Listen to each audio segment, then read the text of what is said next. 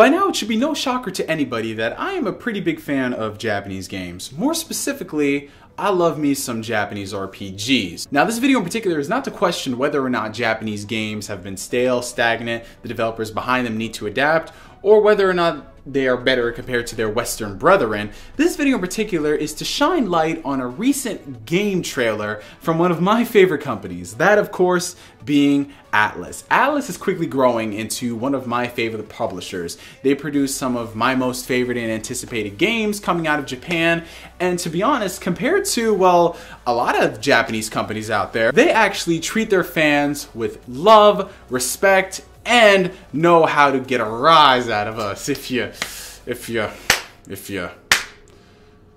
This did not need to happen. I don't know why this happened, but it did. This is a part of history this right here, it didn't need to happen. It already happened. We got to move on. But you know what we're going to do?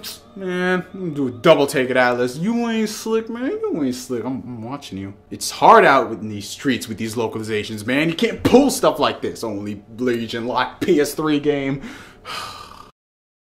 Amongst the many franchises that Atlus owns, one series in particular always keeps me coming back for more, always gets me excited and pumped up for whatever the heck they're going to do next, and that is Shin Megami Tensei, more specifically the sub-series Persona. I got introduced to Persona a couple of years ago when I was really in a rut on whether or not I should play more Japanese RPGs or get into Western RPGs because when I mentioned earlier in the video, about the games being stale and stagnant, that was pretty much true coming from the mainstream side of things. But when you're looking at the niche guys like Atlus, Falcom, NIS, those people, they're producing some of the greatest RPGs that we've seen in the past couple of years. And the Persona series is one that I living adore. From Persona 3 Persona 4, Persona 3 Portable, Persona 4 Golden, to the spin-off games on uh, Persona 4 Arena and Ultimax, to Persona Q Shadow of the Labyrinth on the 3DS.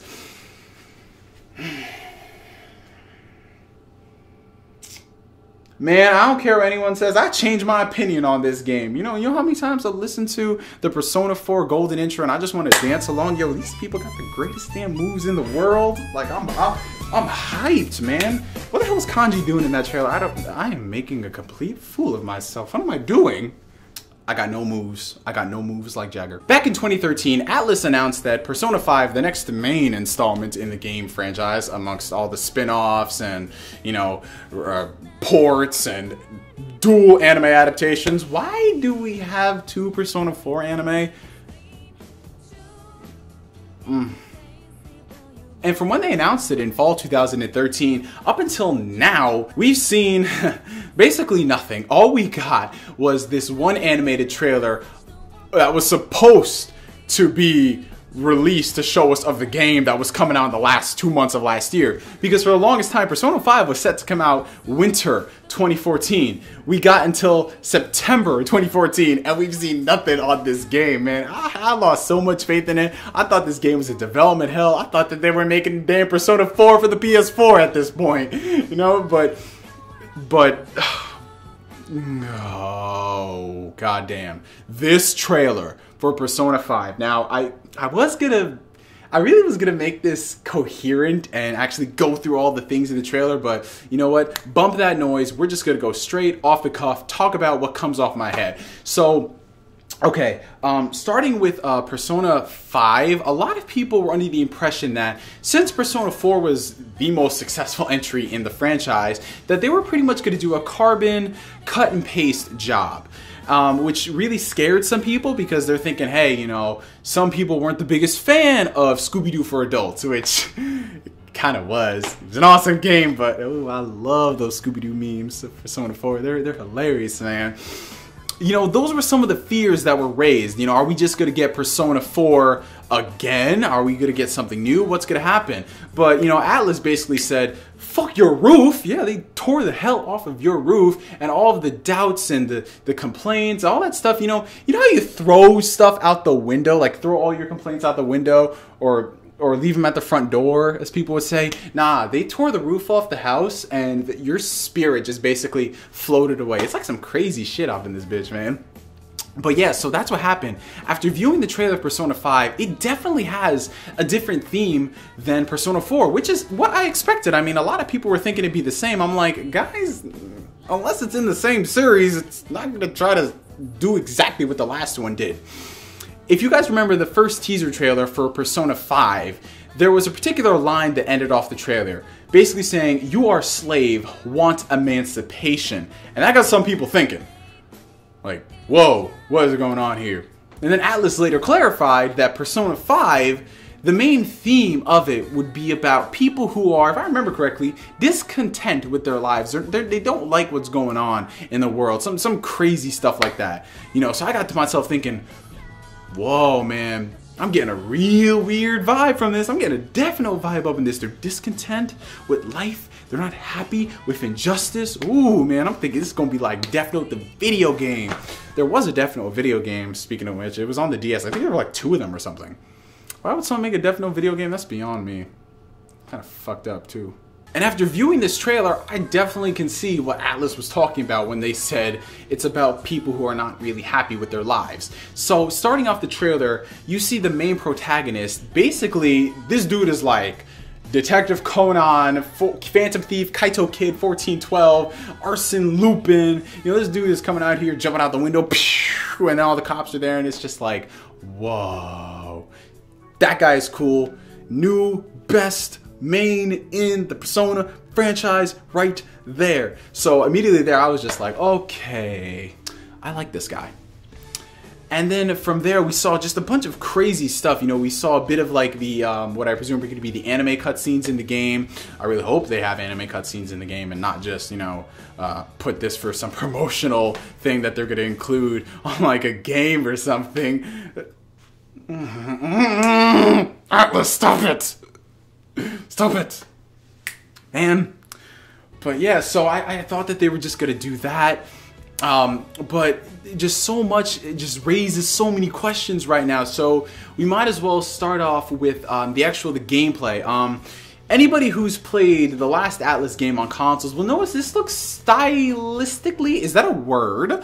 It looks very similar to Catherine. Catherine came out on the PS3 360, I think back in like 2011. And, you know, Catherine had a really unique art style. And I definitely got some vibes in this game um, from Catherine. But of course, some things were different. This game's using a brand new engine and there are differences. But there's just something about it. Everything in the Persona 5 world seems more dynamic and less stagnant than the last game. And when you think about it, the last time we saw a Persona game, a new entry in it, that wasn't a remake, that wasn't a, a, a spin off, was 2008. It is now seven years later in 2015. So, of course, things have changed, and Atlus is producing a game on new hardware.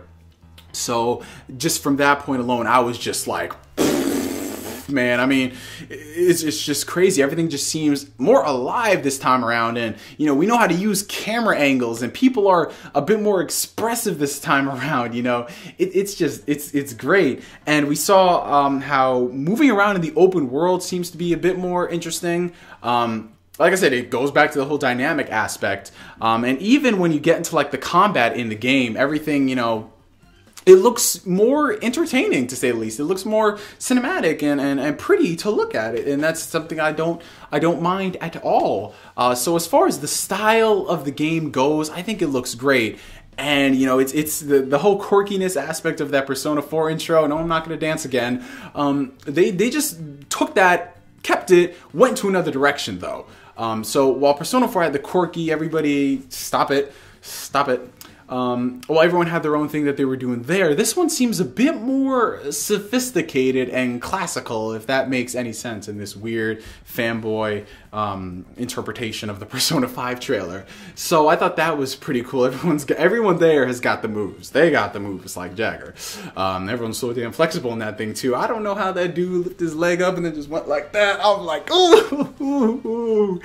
he could steal your bitch. Just saying. Moving on to some of the other things that I think people were kind of complaining about. This goes back to. I'm sorry, I'm just stretching my legs. I've been standing up for so long. Um, this goes back to what people were saying about um, worried about the game because while people thought it was going to be a carbon copy of Persona 4, now people are thinking that it's going to be nothing like Persona 4. One main aspect that I heard a lot of people talking about was that social links might not make a return this time around. Now, I haven't done too much research on Persona 5 since the trailer came out. You know, I had a lot of stuff going on. Um, but in the event that social links were indeed taken out or they're being replaced with something or changed in any capacity, that's not the biggest deal in the world to me when it comes to it because check this out. If you're playing an 100 hour RPG, which is what these games are, they're pretty damn long to say the least. Um, if you're playing this game for so long, the social link aspects aren't the main reason why I'm playing it. I'm playing the game for the combat system, I'm playing the game for the story, especially in an RPG. Now, while the social link aspect was a really awesome feature and I love the way it was implemented in Persona 4 Golden, um, I loved how much you can just spend time with people. It made it feel a lot more personal and close to home um, when you're making these relationships with these people because it's not just, oh, you do a task for me, we're all cool and everything. You spend time with these people, you get to know these people, you get to see their struggles. And it was some really deep shit that happened in Persona 4 with some of these social links. So I completely understand why people are saying that if it's not going to be in the game, I, I just, I, I can't even.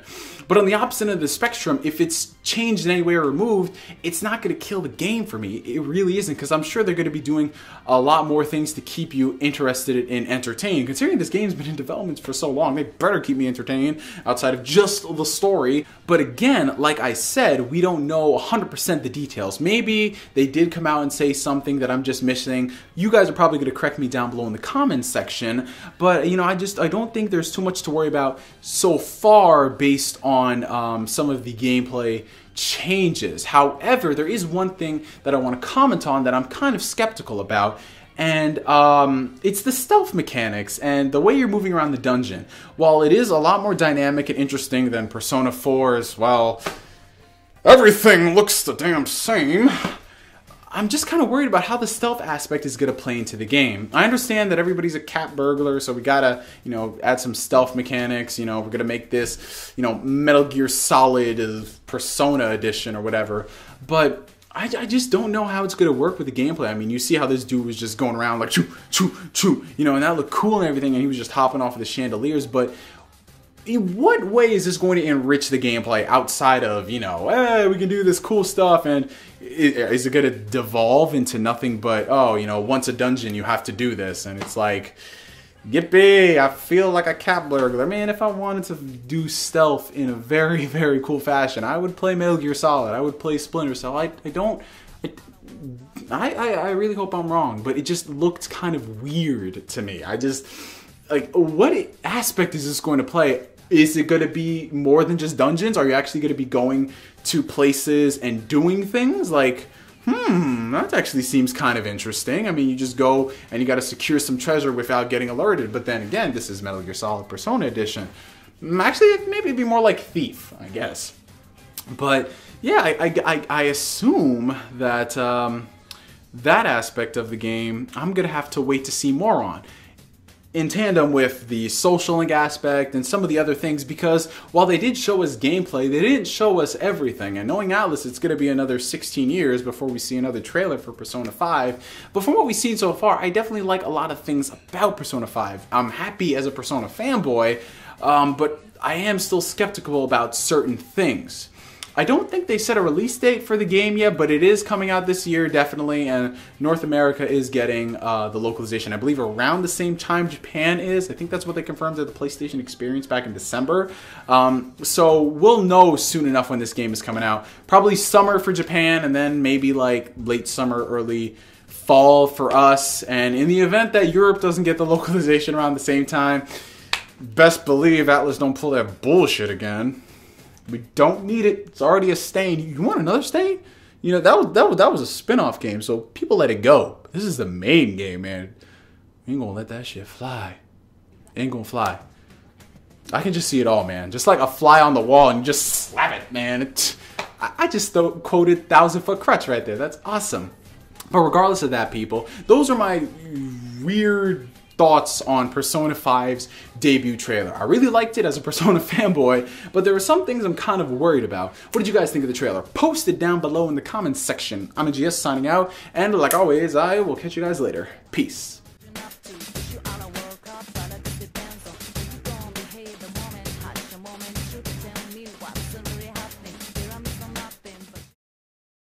in like less than 24 hours, we had so many people out there already do Persona 5 cosplays and Persona 5 fan art. Like, no. Next, these people are gonna start shipping characters. We don't even know any of these women yet. You're already calling them your waifu. Like, maybe we do need to remove social links.